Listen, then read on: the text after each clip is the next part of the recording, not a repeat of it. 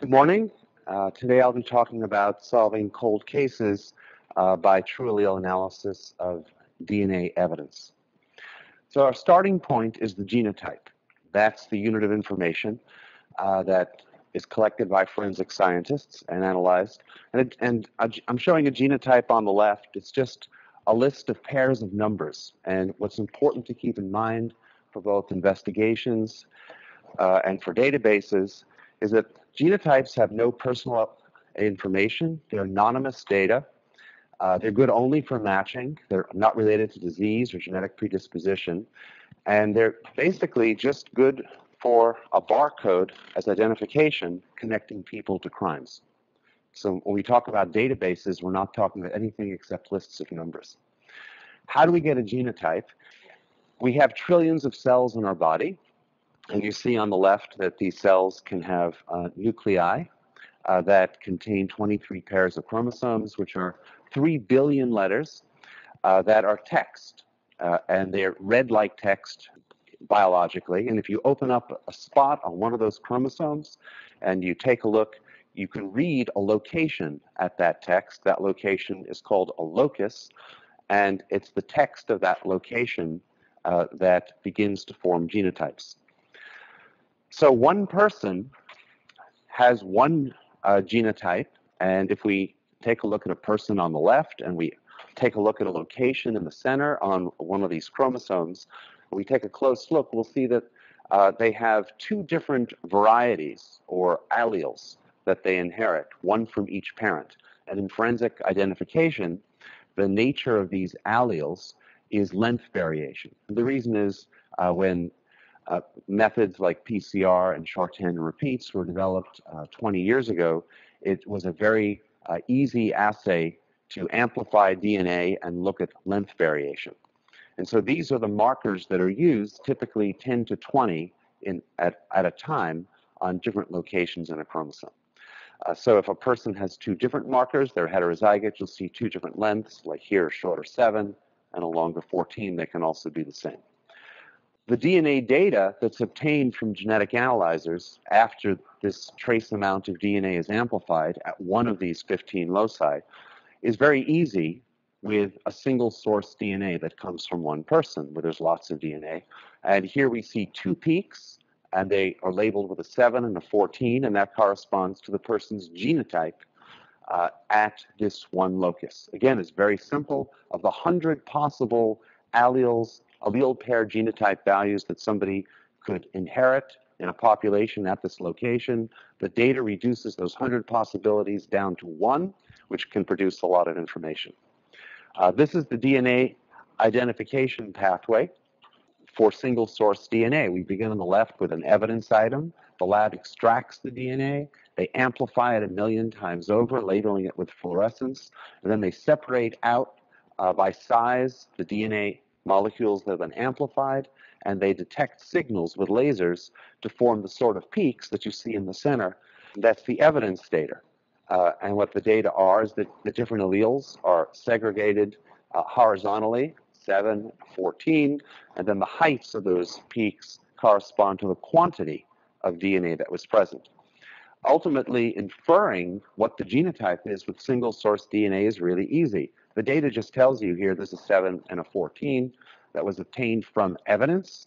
And then once that's been objectively inferred, a comparison can be made with a known genotype like a 714 uh, to establish whether or not there's a match. In the same way, for cold cases, DNA databases were originally made for single source DNA, where the DNA had blood or some other sample that came from just one person leaving that evidence at a crime scene. So how does the DNA database work? If we start on the bottom right, looking at possible suspects, for example, uh, people in prisons, that's how the CODIS database is built up by the FBI, the Combined DNA Index System. We take these possible suspects, their single genotypes as an individual, upload them to a reference database, and their genotypes are sitting there. So we'll have a list of maybe 15 numbers like 7, 14, 8, 8, and so on. That's all that's there, lists of numbers. And then on the bottom left, at a crime scene, DNA can be collected and analyzed, And again, if it's single source, it's easily determined what that genotype is, what that those lists of pairs of numbers are, and they too can be uploaded to the evidence side of a database as, as genotypes. And so for solving cold cases, evidence from a crime scene is uploaded on the left side of the picture to an evidence database, and then going across the picture, it, it can be matched to reference genotypes. And when those that match occurs and uh, an individual is identified as a reference from evidence, that gives a major lead uh, in, in solving a cold case. But most DNA evidence is not made of single source DNA. Most of it is DNA mixtures of two or more individuals. And this being Halloween, uh, with a very good production of Macbeth at the Pick Theater. It's the best, most sold out production they ever had. Um, so if you imagine you take two individuals, an eye of a newt, a toe of a frog, and you put them together into the cauldron of the DNA mixture, what you have is you've now doubled the DNA and you've doubled the toil and trouble, at least, in trying to figure out what's going on. So I'm going to continue talking about uncertain DNA evidence, which is most of what is found at crime scenes. So now we have two people, and there are at least two genotypes, mixtures from crime scenes can have three, four, five, six different individuals in them, but let's keep it simple with two. Now I'm adding on the bottom row another individual, and if we look at the same location on the chromosome, and there are two people mixed into this mixture cauldron, and you amplify it, you're going to find that there's probably more than just two alleles. There can be up to four different values of the DNA from the parents of these individuals. And now we have a 7 and a 14 and a 10 and a 12, and they're all in the mix. And when they get amplified and read out as data, we no longer have something that's as simple as one or two peaks. This is what DNA mixture data looks like. It has peak heights. Uh, you see two taller peaks, like a 7 and a 14, two shorter peaks, a 10 and a 12 in the middle. The pattern becomes important. You can see by eye that it might be the case that if there's a 7 and a 14 as an individual that left a lot of their DNA, and in the middle, a 10 and a 12 is an individual who left half the amount of DNA, the pattern matters. So now it's just not a matter of looking at the two tallest peaks. Uh, there's a lot more involved of peak heights, data, patterns, and uncertainty. And the result is that the DNA pathway is broken. Uh, the lab can still generate evidence data, uh, but they no longer can readily infer what the evidence genotype is. In fact, if they were to say that it's a single allele pair out of the 100 possible values, they would be wrong uh, because there are multiple possibilities of what the answers can be. And uh, the point here is that in order to solve this problem, you have to separate that mixture into its component genotypes. And if you don't, and most manual methods of interpretation and software programs that are built for this cannot separate the genotypes, then you're always dealing with a complex mixture. You're looking at the cauldron, you're not looking at the newt or the frog. And the result is if you don't get an evidence genotype, shown on the top right, you can't make a comparison and you can't solve the problem. And in the US right now, there's a DNA mixture crisis that the DNA community in forensics is very well aware of. There have been dozens of articles written about it, uh, dozens of workshops, programs uh, sponsored by the federal government, uh, by companies, uh, laboratories. And the problem is, is that if a lab can't say with certainty what the answer is, uh, their tendency is not to adopt new technology, but instead to say it's inconclusive. So this means evidence that's been collected from a crime scene, tested in a DNA laboratory, data has been produced from it, and it's made it like to the one yard line is not being converted into information that's of any evidentiary or investigative value to society. There's about 100,000 of thousands of them over the last five years. So people develop methods of separating out genotypes from data. Uh, this TrueAllele system uh, we started on 15 years ago. We spent 10 years developing it through 25 versions to make it accurate. It's easy to write something in a few hours that gives an answer, but getting the right answer is a little bit harder. And what happens on the right side is if the human interacts with data, it's uploaded to a server shown in the center. You can have anywhere from 8 to 80 different processors uh, solving these problems, working out for each evidence item from the, from the data, not from the sample, uh, what the genotypes are, separating out the genotypes, and then writing it back to that central database server very objectively without ever seeing the comparison reference. And then a person later on can combine the evidence information together with references in order to determine match statistics. So the key here is that TrueAllele separates mixtures into their two, three, four, five, six components, whatever it is. Here, for example, in this two-person mixture, it resolves the mixture data into a major component, about three quarters, a minor component, about one quarter, and that separation into components um, is what uh, permits uh, analysis of data. And so what ends up happening is the DNA pathway is restored, and from that evidence data that we see in the middle that's a mixture, the computer can continue to infer an evidence genotype. And there's a price that you pay for it in that the answer is not just one answer. It may not just be a, a 1012 or a 1010 or some particular allele pair at one of these uh, genetic loci. You have a probability distribution. And so now there's a little bit more to explain to a jury. Uh, there's a little bit more to get across. But essentially, instead of having one number, there's a list of numbers with confidences attached to them. And the mathematics of how you produce match statistics doesn't care if it's one number or a probability distribution. So in this way, you can separate out the genotypes at each locus. This would be the minor contributor, and then make comparisons, produce match statistics, and actually uh, preserve the DNA data for use uh, in fighting crime. So I'd like to tell you about a case that I worked on this year. This one was in England. And this is a rapist in Southampton, which is a port city shown in blue at the very south of the map of England in um, Hampshire or Hampshire County, which is a southern county.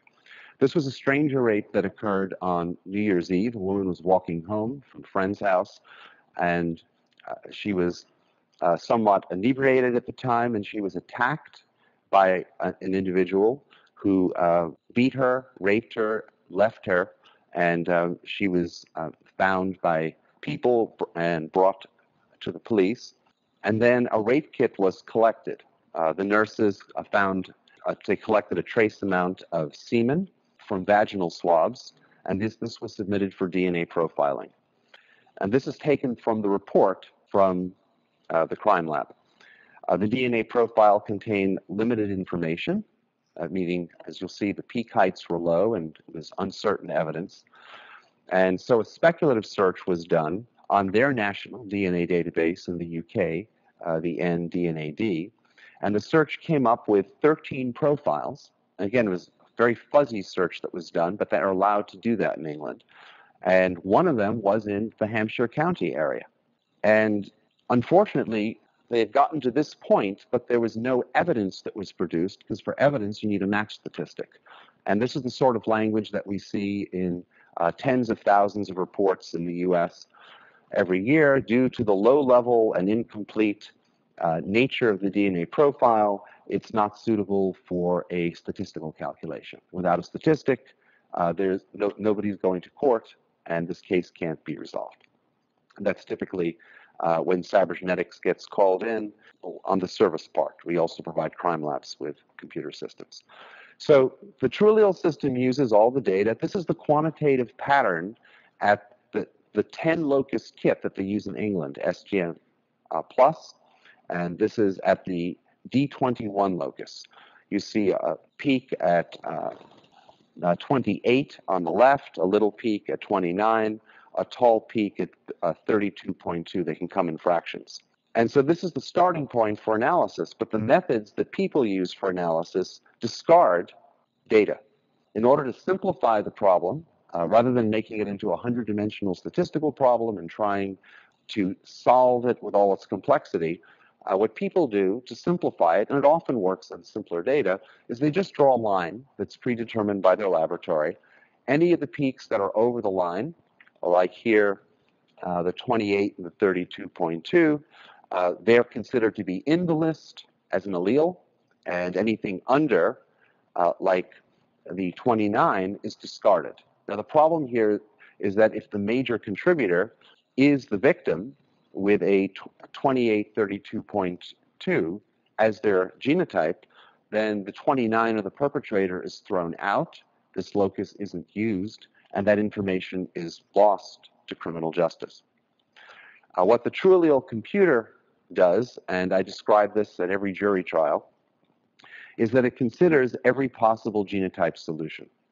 Uh, so imagine that the two blue rectangles represent one person's allele pair, maybe the victim's, uh, with a 28 and a 32.2, those two tall rectangles as the pair, and maybe there's a smaller amount of the 29 and the 32.2 shown in orange. If you add together and stack up those different quantities of those alleles from the genotypes, you see that the heights of those added up rectangles give you the same kind of pattern as the data. And so in that case, the computer would confer a higher probability to those genotypes. But it also tries out another 50,000 different possibilities, moving those rectangles all over the place and changing their heights in order to work out what the other possibilities are. So it doesn't just go for what looks like the answer, it tries out everything independently of what the data are, comparing to the data and working out a probability distribution of what's possible. Here we see at this one locus for this one contributor, the minor contributor, the one that was in orange, there's a probability distribution of different allele pair possibilities. So these are possibilities are shown on the bottom. Uh, there's like a 28-29 with a 12% probability, a 27-29 followed by a 28-29 with a 14% probability. These are all different possibilities, and what has happened is that the 100 low possibility events have been concentrated in this blue color uh, into what the evidence is trying to say is the genotype of the other person at this one locus. And this is all done objectively. The computer at this point has never seen who it's comparing with. It doesn't know who the suspects are. It doesn't know about uh, the 13 profiles from the database. It just knows this is what the genotype is as more concentrated information. At this point, a comparison can be made to, for a match statistic. Suppose that the person of interest uh, shown on the right has a 2932.2 genotype. Um, that's indicated with, with a red rectangle. We can answer the question, how much more does the suspect with his genotype at the 2932.2 shown on the right, on the right, match the evidence than a random person does? Well, random is shown in brown. Those, those are the chances that a person in the British Caucasian population would have each of these genotypes. And there are 100 of them. I'm only showing uh, the eight that are corresponding to the blue bars from the evidence that we saw in the last slide. And then all a match statistic is, is it looks at the change in probability from random up or down, because it could go either way with evidence in favor or against, to what the evidence genotype is that's been inferred by the computer shown in blue. And that ratio of blue to brown the probability after seeing the data divided by probability before the data is telling us mathematically that here there was a five-fold change in probability from 5% up to 21%. That 5 is the match statistic at this locus. And looking at all 10 loci from left to right, that axis is the match statistic called a likelihood ratio, or an LR. And then vertically, what you're seeing are the 10 different loci, and the bars are showing the magnitude of the match statistic. Uh, some of the numbers are a little bit larger, and, and, some of the numbers, if you look on the bottom left where the scale's one, uh, some of the loci are giving some evidence against the person being in. It's not up to us uh, to pick and choose the loci. Objectively, You need to combine all the evidence, all the match information, in this case from all 10 loci, to produce a final match statistic. And in this case, that lets us ask the question, is the suspect in the evidence? And what we can say, using the language of single source DNA, because the computer has separated out genotypes, even though there's probabilities, once the genotypes have been separated into a first contributor, a second contributor, third contributor, now all the simplicity of single source DNA comes back to us. And we can say that a match between the vaginal swabs and Stuart Ashley Burton is 17,000 times more probable than coincidence. That's the match statistic. Now there's a result. So in this case, I happened to be in England at a conference. I met with the investigators and the barrister who was prosecuting the case, and we were preparing, uh, but based on uh, a number of factors, according to the investigators, including the fact that there was solid DNA evidence, uh, Mr. Burton uh, pleaded guilty to the rape that happened on New Year's Day morning, and he was sentenced to 12 years in prison. Now, I want to say a few words about database hits. So, what happened in England is not happening here. In England, they can take an uncertain profile and they routinely can scan it and come back with many genotypes. A profile and a genotype here mean the same thing. Just looking at the numbers, what I'm showing here on the x-axis are the 13 different individuals that were found on the, on the database, and the vertical axis is showing the match statistic represented as the number of zeros. It's called the log of the LR, the logarithm of the likelihood ratio. The number of zeros in the match statistic is the main way of representing information in forensic science and many other areas of information science. So in this case, a three is a one followed by three zeros is a thousand, a one followed by six zeros or a log of six um, is a million. And in our case, it was roughly a one followed by four zeros. The number was in the tens of thousands. The first thing that we see qualitatively is that Mr. Burton, shown in green, his statistics all the way on the right, his value over four is well separated from the match statistics, the likelihood ratios uh, that were under two zeros or 100. So 10,000 was different from these numbers that were 100 or less. And so that was useful, but with computers we can do more. What happens is that one can ask from the evidence genotype that was inferred from the rape kit, what is the distribution of non-contributors? What does that look like? And the answer is you'll get a bell curve of what the match statistics are, the number of zeros in the match statistic, the log LR, of the information. And in this case, the bell curve was centered at around negative 3 and didn't go out much past 2. And so we could work out what was the chance for each of the 12 uh, cold hit genotypes that were found on the British database of having a match statistic that was inclusionary even if they actually were not included, they were not a contributor, but there was a false hit. And it turned out that that probability, the rarity was less than um, uh, one in a thousand. They weren't very likely. But by looking at the bell curve, what we could see is that Mr. Burton's match statistic of 10,000 was far beyond that range. And in fact, there was less than a one in a million chance that that was a false hit. So in this case, it wasn't just that the match statistic was 10,000. We could look at the evidence and, and separate out the 13 contributors and determine that statistically the 12 who weren't likely had a very low chance of being uh, included in that mixture, whereas Mr. Burton, with his statistic in the tens of thousands, it was less than a one in a million chance that it was the wrong guy. And that was very helpful in this report. So why do we rely on TrueAllele? I'm not going to go into a lot of pictures and math and statistics. I thought about it, but then, you know. Uh, so I'll just tell you that there have been seven published validation papers, two are coming out next year, that look at to what extent is this computer interpretation of DNA evidence reliable.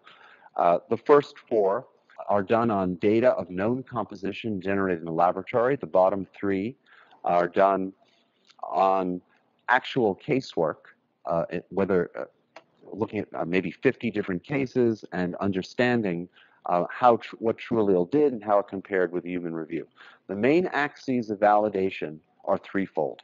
The first is if somebody really contributed to their, their DNA to a mixture or to DNA evidence, is the computer finding a positive match statistic? Is the number like a thousand or a million or a trillion?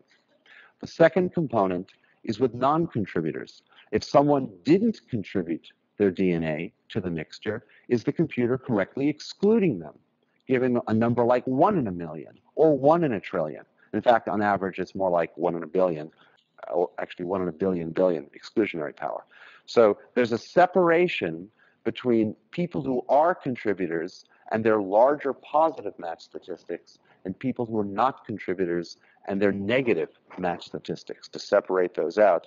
And the other question is reproducible. Uh, reproducibility, if you run the program uh, multiple times, since you need random search to solve these 100-dimensional problems, do you get the same answer? And the answer is yes, uh, usually within a factor of 2 or 10, depending on the data. So the system is very highly validated uh, for its reliability. And you may ask, well, isn't all DNA evidence reliable? The answer is no. Uh, the, the data itself is highly reliable, but the interpretation is not. And rather than showing you our studies, let me show you some studies by the National Institute of Standards and Technology, or NIST, uh, which conducts studies on mixtures and has been doing so for 10 years and warning the forensic science community about the unreliability of its mixture interpretation. This is a slide prepared by Dr. John Butler at NIST uh, from 2005. It's the Mix 05 study, Mixtures 2005.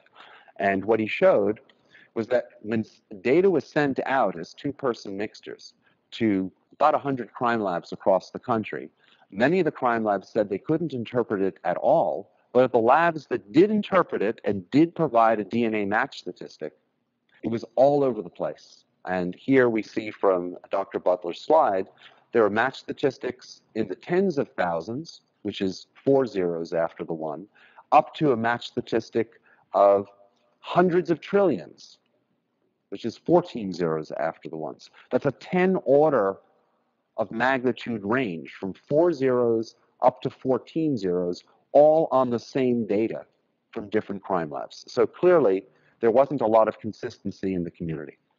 To try to deal with this, uh, a second higher threshold called a stochastic threshold was introduced, and the main result of it uh, was that almost no DNA evidence that was meaningful was produced. I left out all the statistical slides on this, but you can imagine uh, that mixtures were now not being reported, and the average match statistic in some studies was now 100, whereas before uh, it might have been a million, or depending on the method used, a trillion.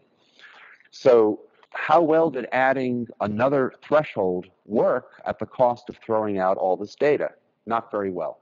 This was a more recent study from NIST presented this year by uh, Dr. Michael Coble, uh, the Mixture 13 study.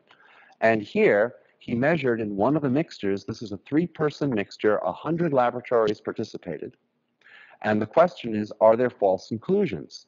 And what he found was, in this data that was sent out to 100 laboratories in the US, if you look at the bottom row, 70 of the laboratories falsely included a third contributor and provided a match statistic of what the strength of inclusion was. So most of the labs, given data like this, may be producing false inclusions. 25% of the labs gave no answers at all, and um, six of them did give an exclusion. And in this slide uh, from NIST, one of them uh, was a computer program that produced a negative match statistic, and that was TrueAllele. Uh, NIST has been doing more studies. This is from a, a talk that I saw in Holland presented by uh, the Netherlands Forensic Institute. It was a collaborative study with the US. Uh, and uh, this is what he showed in August. If you, if you look all the way on the left for simple two-person mixtures with a 10% minor contributor, which is what we see a lot of in casework, there were four different methods with one nanogram of DNA, standard amount of DNA, and they all produced match statistics. Numbers up around 12 mean a trillion, numbers down around 6 mean a million, one followed by six zeros. as the amount of DNA was halved in the middle slide to half a nanogram, these software programs that use thresholds, that tried to add one parameter to assess the amount of dropout, are not working anymore. The average match statistic is moving down to zero, which means no information, a match statistic of one. And when you move all the way to the right by having the amount of DNA again to the sort of low template DNA that we see all the time uh, from touch surfaces, bullets, and so on, or even in that rape case that I described, uh, software that's trying to make simplifying assumptions with thresholds and dropout is again producing no information. But if you do extensive computer modeling, let the computer take six hours to solve it, have hundreds of variables, work out the variation. I'm not going to go into what all those variables are. In order to determine the genotype, uh, like TrueAllele does, uh, then you can preserve identification information on the same data and produce match statistics uh, that in this case were between uh, a million and a billion. So these are not my studies. That's just what's happening. So it means the current methods that labs are using and the ones that many of them are moving to don't work. They don't find information and they may be falsely including people. So uh, was first used in 2009 in a court case uh, out in about an hour east of here in Indiana County. Uh, Cyril Wecht uh, participated in that case. This was the Kevin James Foley case. Uh, he was the state trooper who was convicted of murdering John Yelenic, who was a dentist. Um, there's a lot been written about it, and I think it's even described in Cyril's new book. But as a result of, of that case, there was a, an admissibility challenge, and TrueAllele was admitted into evidence after challenge, used at trial, and uh, Trooper Foley was sentenced to life in prison. There was an appeal, and as a result of the appeal, uh, there was a Pennsylvania precedent that was set by the appellate court. And so TrueAllele enjoys statewide precedent in Pennsylvania. There's also been admissibility challenges that were successfully overcome in California, Virginia, and most recently, a few weeks ago, in Ohio. Uh, TrueAllele is used a lot in Allegheny County. There was a local rape case of a serial rapist uh, where the lab statistic was understandably under a million using the methods that they used. TrueAllele could separate out the genotypes uh, and produce a match statistic in this case of over a quadrillion. That's 15 zeros after the one. And uh, Mr. Ralph Skundrich was sentenced to 75 to 150 years uh, for that rape.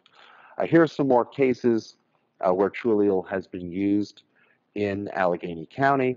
Uh, we've uh, worked on over 25 cases, mainly for the district attorney's office. We filed over 20 reports. Most of them are plea bargains, and four of them have gone to trial. There was also an exoneration. So it's widely used in our county. It's also used across the U.S. We've written uh, hundreds of, uh, of reports and the, either the laboratory systems are being used by labs or case reports have been filed and used by law enforcement or by the defense community. We've done about 15 defense cases, mainly innocence projects, uh, in about half the states in the U.S. We also have done work overseas uh, in, you know, in Europe and Australia. I'd like to tell you about a cold case homicide in Canada that we've been involved in the text is taken, uh, abstracted from a newspaper article last summer from the Hamilton Spectator called New DNA Skills May Solve Hamilton Killing. And so the article describes that Cybergenetics examined the DNA data uh, that was generated by the crime lab uh, from this Hamilton uh, stabbing scene. Hamilton is about a, uh, an hour southeast of Toronto, uh, separating out genetic profiles of the killers. So the news media has it right, right? We separate out the genetic profiles. That's exactly what's happening. But the crime lab, quote, is not permitted to enter DNA analysis from other labs into the National DNA Database. That's the norm. A lab can only use its own methods most of the time, unless there's a court order otherwise, to do solve cold cases and from DNA. And this frustrates prosecutors, investigators, uh, Innocence Project defense attorneys, Um, I've spoken with Ken Mains about this. Uh, there isn't anybody involved in criminal justice who, who doesn't understand why evidence that you have can't be used to search a database. And this was summed up nicely uh, by the victim's stepmother, uh, who said uh, she was baffled as to why the DNA profile can't be run through the Canadian database. If we can use it, let's use it, she said, frustrated. And so what this means actually is that laboratories stick with older technologies. The benefits of all this police work and cold uh, case solution isn't being conferred on society because if they don't use a new method themselves, uh, they have the choice to not do the search, and it usually would take a court order to overcome that. Uh, in this case, uh, they had suspects. Comparison uh, was made, and an arrest was made in this case at the end of last year. So, at some level, uh, our DNA databases are broken. And why is that? Because they don't separate out mixtures into genotypes. Instead, they, what the crime labs do, following uh, federal protocols, is they produce lists of alleles that may be accurate or not accurate. And these lists of alleles, as we saw in the England case, can produce many potential genotypes on the reference side. Uh, in this case, uh, the reference side in the US is the CODIS database that has 11 million convicted offenders in it who are used as likely suspects in order to solve cases. So when evidence comes from a crime scene, uh, what's the problem? The problem is that middle arrow that says match. And the issue is, is that if evidence, which is just lists of alleles and not actual separated genotypes, are compared against the database, they may come back with 10, 100, or 1,000 profiles different genotypes of potential suspects with no statistical way, if they're using older methods, of resolving them. That can generate a lot of police work. So there are rules in place that essentially say that if the, the specificity of your DNA mixture isn't less than the size of the database, if your match statistic isn't at least 10 million, you can't upload it. And the result is less than 10% of mixture evidence is ever uploaded to our national DNA database. Again, for all this work that's being done on cold cases, the, the files are analyzed, the, the evidence is obtained, the DNA is tested, money's found for that, and the data is produced, almost none of it is being uploaded. That includes live cases as well. So our CODIS database is excellent with easy data that's single source, but most of the data today is mixtures, and virtually none of it is being used to help identify criminals. So what's the solution? The solution is to use better science and actually separate out the genotypes. And once the genotypes, as shown in the bottom left, are separated, they can be uploaded as probability distributions, but as separated genotypes, to an evidence database of genotypes. That means 100% of the evidence can make it onto a DNA database um, and then be compared against references.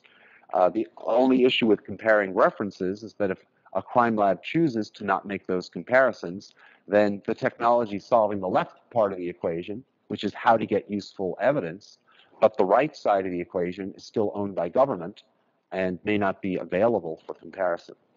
Uh, there are some groups that are taking advantage of both sides of this equation, uploading the evidence and having the reference samples.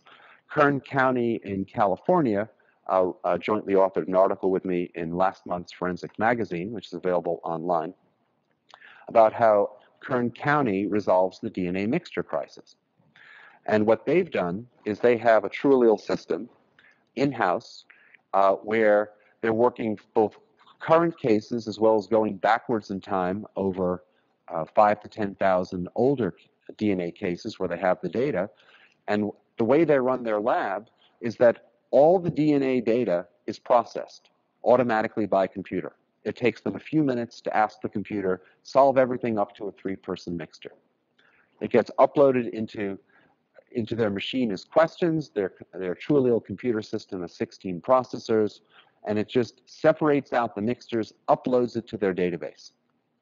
And then comparisons are made of evidence to evidence to solve case to case problems like cold cases, as well as solving evidence to reference of the known references from current and past cases.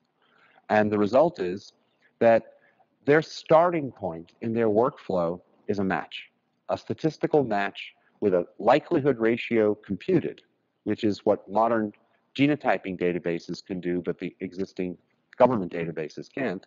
And then they can look at it and say, well, the computer gave us a match. It gave us a positive identification between this item of evidence and this person. Maybe it's in the same case. Maybe it's in a different case. Regardless, their starting point before they do the hard work of reviewing the data is knowing the answer from the very beginning. It's an interesting article, and that's their workflow, and it shows how more powerful science can be used in everyday laboratories uh, to solve current and cold cases.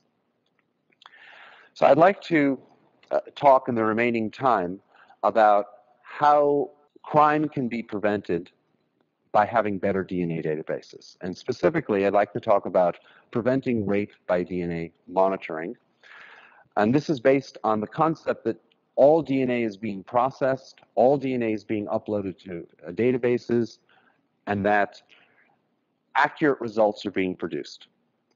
So, and uh, my focus here is going to be rape on college campuses, but the same concept applies to any closed population, including rape in the military, um, as well as prison rape. The same concept.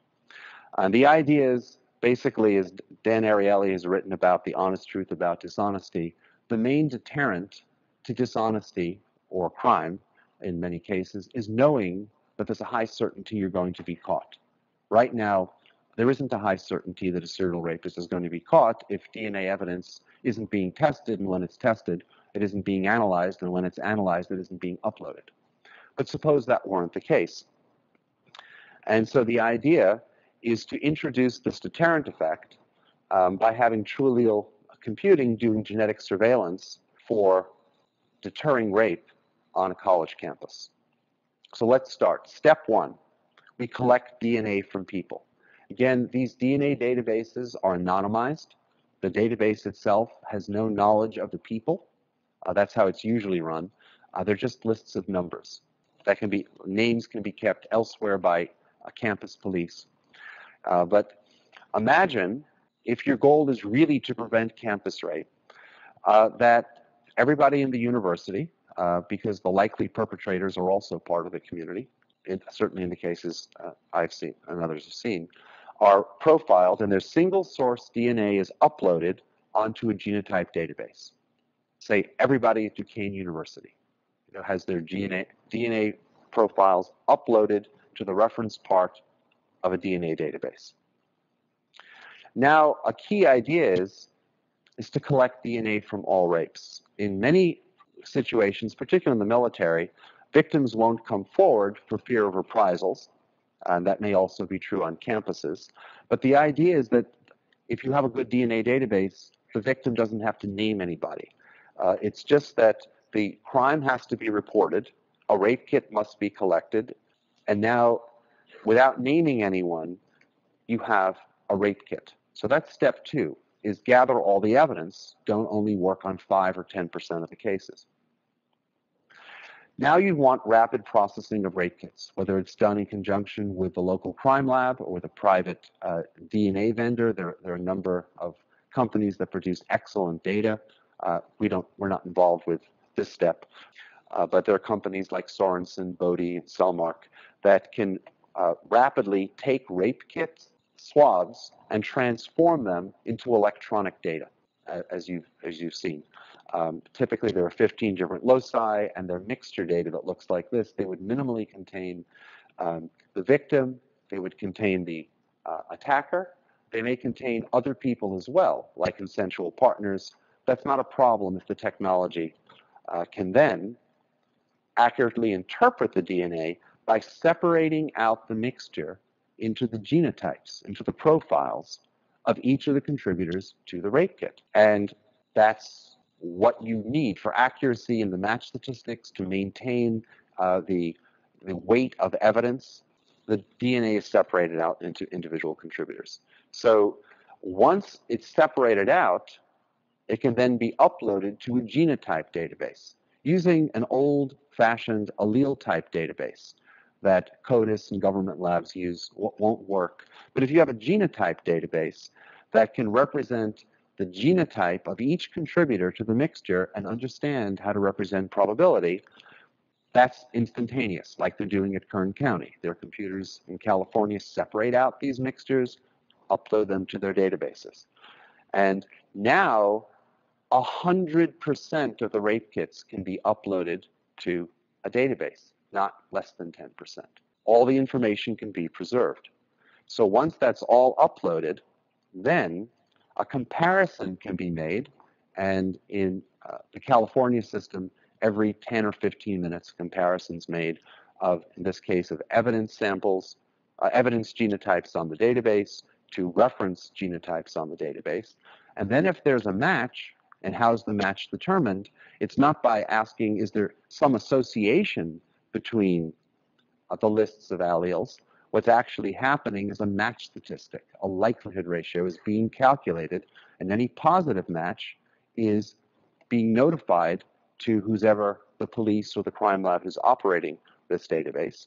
And so that's signaled. And then the individual can be identified, uh, the rapist can be found, and moreover, all of the evidentiary material that you need, the match statistics, the chain of custody, everything is in place for a prosecution.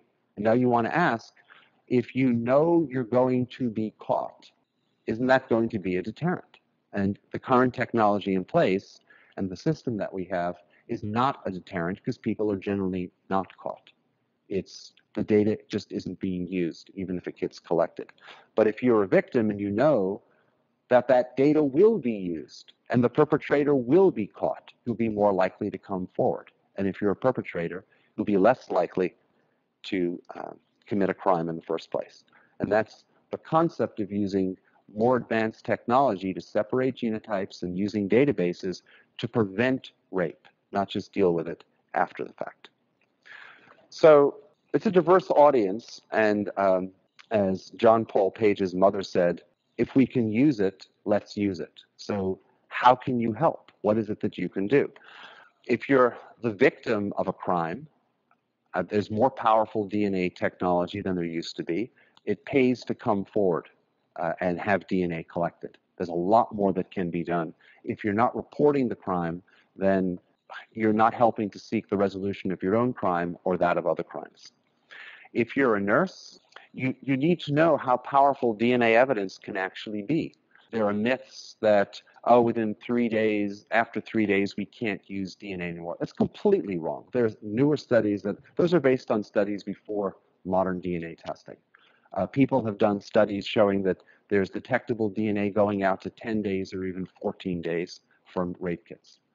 Uh, and you need to know that. Why would you not uh, collect that information? You also need to know as a nurse that there's a lot of other DNA present, in, for example, in a sexual assault.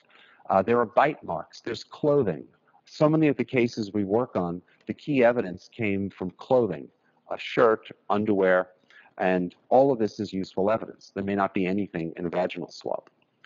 Uh, investigators, police or otherwise, need to be aware of what can be done with the DNA. Perhaps the most important thing you need to know is when your DNA, is when your crime lab comes back and tells you it was inconclusive. Take a look at the data. If you see there's actually peaks there, try to find out if there's a, a better method, whether it's ours or someone else's, that can interpret the evidence and give an answer when the crime lab's not willing to testify. Uh, we've had several cases this year of child rapes and uh, horrific cases with children raped weekly from uh, young girls from age seven to, every week until they were 14 and they got old enough to uh, tell people about uh, their father. In some cases, they're not even believed by their mother. But in cases uh, where there's a family rape, many crime labs will simply say, well, these people are related. I can't say anything about people who related in a mixture. Well, that's silly with modern technology. So TrueAllele in those cases separates out those relatives and produces match statistics typically with 15 zeros in the quadrillions. If, if the crime lab is using methods that can't separate out genotypes, of course they can't give an answer. but there's much better methods and the data is there. We get calls from uh, police regularly uh, who've learned more about uh, these sorts of methods. If you're a forensic scientist, I think the most important thing you can do is just question everything. Just because somebody hands you a protocol and says, be a good technician, doesn't mean that it makes any sense or that you're actually helping society. Society views the crime lab as an information producer, right? The courts, prosecutors, defense attorneys, police, everyone relies on the crime lab as an information producer, producing match statistics, producing identifications. That's not what how crime labs view themselves. Uh, and with some of the new NIST policies coming down, uh, there's a there's a, a, drive to make crime labs just function as technicians uh, without actually thinking about evidence, and that's probably not good, particularly if you're starting out and you can think about it. So I would suggest you question everything and think, does this make scientific sense? What are the best methods? Read widely, attend workshops, and so on. Uh, prosecutors uh, obviously make better use of more informative methods of interpreting evidence, even when crime labs can't. And defense attorney, attorneys do that as well. Uh, there's a lot of exculpatory evidence that's in DNA. Uh, and sometimes it may not even appear exculpatory. Uh, a crime lab will say, this is uninformative. I can tell you the victims in there, but I can't tell you about anybody else. With modern computing, you can establish that certain people are not in there, like the person who's been in prison for the last 20 years, because there's a number like one in 100 million, he's not in there. And yet the technology can also establish that there's another contributor who is in there. And the expected match statistic might be a billion. And this is not what most crime labs do, uh, but it's a vast amount of potentially exculpatory evidence in current and in past cases. And I think uh, the general public, it's hard to know what's going on inside of a technical field, but if you look at what's on NIST's website, if you look at, uh, at what's in some of the forensic magazines, and again, most people aren't interested in this, you'll see that there's really a, a DNA crisis right now. There's 100,000 mixture items that are being ignored as uninterpretable that are very interpretable using better methods. And there's a lot of evidence that just isn't being used. Uh, the culture of forensic science is one of definiteness. Somebody testifying in court would much rather say, I know with absolute certainty that I see a match here. And the notion of bringing in 21st century statistics to say, well, I know that there's a statistical match based on how a computer has separated out a, a mixture is a new idea to society. And it's uh, sort of alien. You sort of assume that crime labs do everything they can do, right? If they can use it, then they're using it. And that's certainly not the case with DNA mixtures. So if you'd like more information, there's magazine articles and general book chapters uh, on our website. There's a lot of very technical information you're never going to look at there as well. There's some uh, talks, uh, narr many narrated PowerPoints that introduce general ideas. Uh, if you're interested, I think perhaps the best uh, book chapter on our website in our publication section would be the story of the slaying of the Blairsville dentist, uh, John Yelenic, uh, where Cyril and I were both involved in that case. It tells the story from the collection of evidence, what the FBI was able to do, where they stopped with their interpretation, how we were able to pick up the ball and take it forward and all work together as a team to uh, obtain uh, a conviction on a small amount of DNA that was 7% of a mixture under the victim's fingernails and was actually the only physical evidence in that crime. Okay, well, thank you very much.